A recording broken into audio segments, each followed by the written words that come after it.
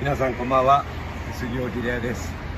今日は選挙戦11日目ということで、えー、今日の1日の日程が終わりました。今ちょっと選対の方で会議をしているところです。私は今日は1日2区を基本的に回りました。下條光衆議院議員立憲民主党の長野県連の代表ですけれどもずっとついてくれてそして、えー、午前中ですね、えー昼過ぎぐらいまでですか。